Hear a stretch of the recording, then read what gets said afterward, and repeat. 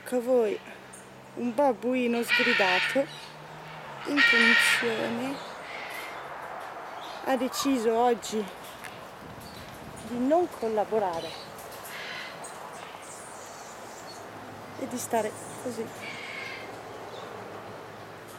Fare la nanna.